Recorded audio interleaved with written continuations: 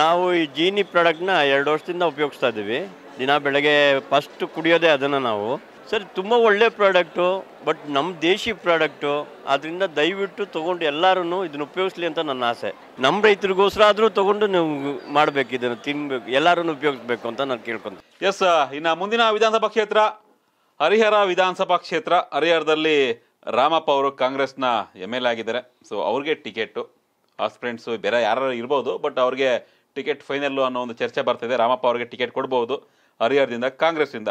ಇನ್ನು B J ಪಿಯಿಂದ B P Harish ಮಾಜಿ ಎಂ ಎಲ್ ಎ, ಅವರು ಆಕಾಂಕ್ಷಿ ಆಗಿದ್ದಾರೆ. ಮತ್ತೆ ನನಗೆ ಟಿಕೆಟ್ ಕೊಡಿ ಅಂತ ನೋಡ್ಬೇಕು ಯಾರಿಗೆ ಟಿಕೆಟ್ ಕೊಡ್ತಾರೆ ಅಂತ ಅಲ್ಲಿ. ಚಂದ್ರಶೇಖರ್, ಪೂಜಾರ್, ಆಮೇಲೆ ವೀರೇಶ್ ಅನಗವಾಡಿ. ಸೊ ಇಷ್ಟು ಜನ ಟಿಕೆಟ್ ಆಕಾಂಕ್ಷಿಗಳಾಗಿದ್ದಾರೆ ಬಿ ಜೆ ಪಿಯಿಂದ ಹರಿಹರ ಕ್ಷೇತ್ರಕ್ಕೆ. ಇನ್ನು ಜೆ ಡಿ ಎಸ್ನ ಶಿವಶಂಕರ್, ಮಾಜಿ ಎಂ ಎಲ್ ಎ. ಸೊ ಇಷ್ಟು ಜನ. ಅಂದರೆ J D S, Congress B J P ಮೂರು ಜನ ಇಲ್ಲಿ ಒಂದು ರೀತಿ ತ್ರಿಕೋನ ಸ್ಪರ್ಧೆ ಏರ್ಪಡ್ಬೋದು ಅಂತ ಚಾನ್ಸಸ್ ಇದೆ. ನೋಡಬೇಕು ಯಾರಿಗೆ ಅದೃಷ್ಟ ಲಕ್ಷ್ಮಿ ಯಾರಿಗೆ ಜನ, ಜನತಾ ತೀರ್ಪು ಬರುತ್ತೆ ಅಂತ.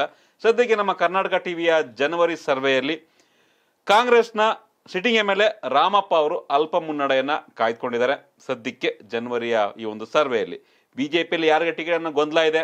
ಹರೀಶ್ ಕೊಡ್ತಾರೋ, ಚಂದ್ರಶೇಖರ್ ಕೊಡ್ತಾರೋ, ವೀರೇಶ್ ಕೊಡ್ತಾರೋ ಅನ್ನೋ ಒಂದು ಗೊಂದಲ ಇರೋದ್ರಿಂದ ರಾಮಪ್ಪ ಕಾಂಗ್ರೆಸ್ನ ಎಂ ಎಲ್ ಎ ಸ್ವಲ್ಪ ನಿರಾಳವಾಗಿ ಈ ಕ್ಷಣಕ್ಕೆ ಮುನ್ನಡೆಯನ್ನ ಕಾಯ್ದುಕೊಂಡಿದ್ದಾರೆ. ಶಿವು ಹರಿಹರ ವಿಧಾನಸಭಾ ಕ್ಷೇತ್ರದಲ್ಲಿ ಈಗ ಬಿಜೆಪಿಯಲ್ಲಿ ಗೊಂದಲ ಇದೆ. ಇನ್ನು ಯಾರ ಟಿಕೆಟ್ ಅಂತ ಕನ್ಫರ್ಮ್ ಇಲ್ಲ.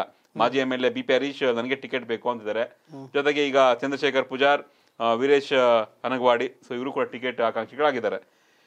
ಕಾಂಗ್ರೆಸ್ನಲ್ಲಿ Ramappa sitting M L A ಅವರಿಗೆ ಟಿಕೆಟ್ ಫೈನಲ್ ಆಗಬಹುದು ಅನ್ನೋ ಚರ್ಚೆ ಇದೆ.